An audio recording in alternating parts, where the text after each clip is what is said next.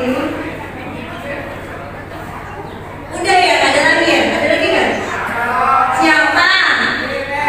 Tibet.